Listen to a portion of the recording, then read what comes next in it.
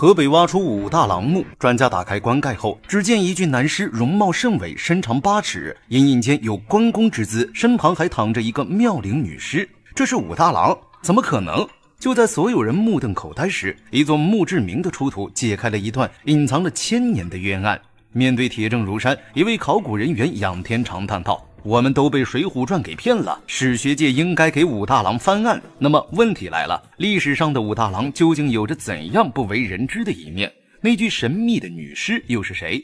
一九四六年五月的某天下午，河北邢台一个村庄内，男女老少聚集在一个坟堆面前，不住的磕头。为首的族长声泪俱下：“老祖宗，请您原谅，日子实在是过不下去了，麻烦您施舍点儿。”原来这是武氏后人。在跟武大郎讨要宝贝，虽然听起来有些不可思议，但庄子里男女老少千余口，全都自称是武大郎后人，而且村东头还竖着祠堂，正殿上恭恭敬敬地供奉着武大郎的牌位。彼时正值内战之际，又恰逢灾年，村里一多半都揭不开锅了，这才铤而走险，打起了老祖宗的主意。一炷香后，八个精壮汉子赤膊上阵，三下五除二就揭开了坟。下一秒，一尊崭新的楠木棺材映入所有人眼帘。虽过了千年，但上面的漆仍旧光亮如新，四角还刻着山水花鸟图案。哎呀，老祖宗显灵了！这里面肯定有不少宝贝。在众人的哄闹中，盖板应声落地。没想到里面居然躺着两具尸骸，男的长须在身，衣着考究。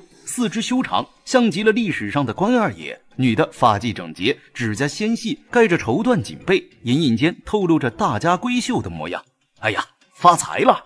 下一秒，几个年轻小伙激动地甩开膀子，在关内摸了半天，结果连个值钱的物件都没有。最终，这场挖祖坟行动以失败而告终。转眼间，三十年过去了。一九九二年，一支考古队在河北省文物普查时，偶然间得知了此事。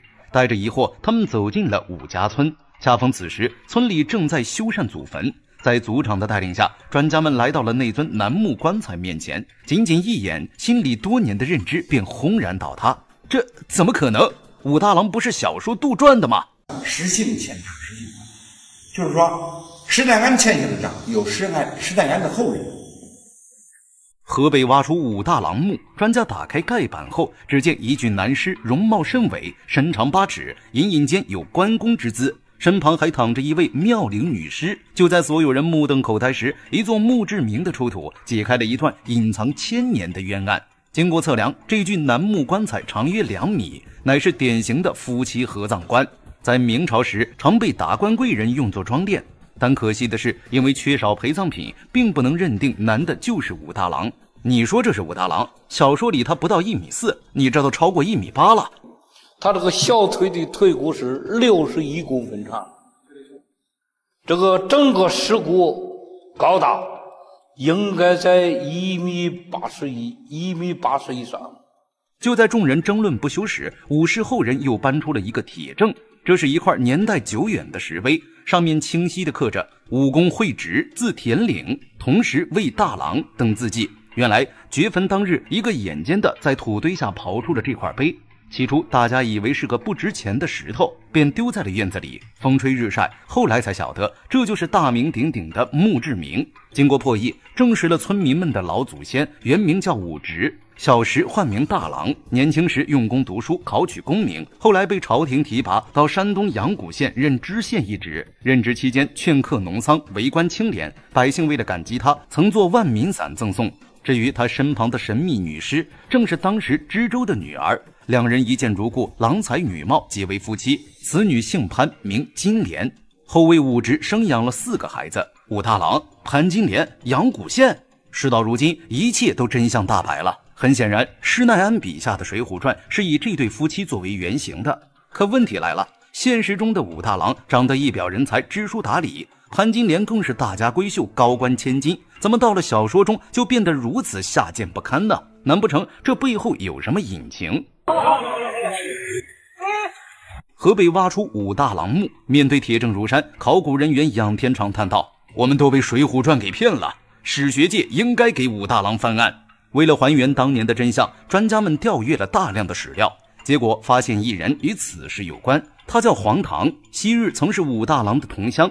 小时候因为家境殷实，没少接济过武大郎。再后来，武大郎官拜阳谷县令，不巧一场大火把黄家夷为平地。为求生计，他千里迢迢来到山东，投奔自己的好友。一开始，两人也是有说有笑的。可一个月过去了，黄堂发现朋友绝口不提重建房屋的事。就这样，他一气之下离开了县衙。回去的路上，心里越想越不甘。恰逢此时，西门庆出现了。这家伙是县里有名的地头蛇，坑蒙拐骗，无恶不作。曾因为欺压良善，被五县令狠狠教训过。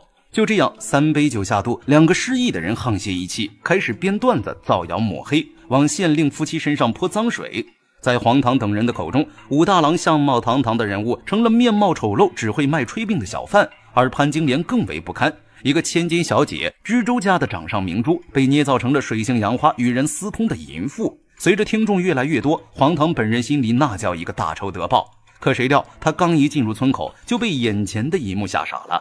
原本空荡荡的宅地上，凭空冒出一所三进三出的院子。事后一打听，才得知这是武大郎托人找木匠、瓦匠新修的。本想着给老朋友一个惊喜，却不料沿途发生了这等肮脏之事。再后来，三人成虎，众口铄金，那些捏造的情节传到了说书人的耳朵里，后又被施耐庵记录在册，编成了《水浒传》。这对正主堂堂正正做人、清清白白为官，却忍受了六百多年的谩骂。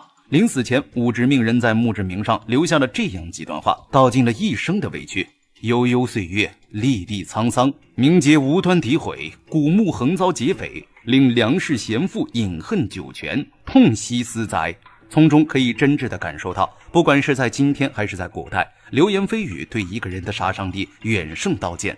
如果时光可以倒转，希望那起悲剧不会发生。对此，你有什么看法？欢迎在评论区留言讨论。我们下期不见不散。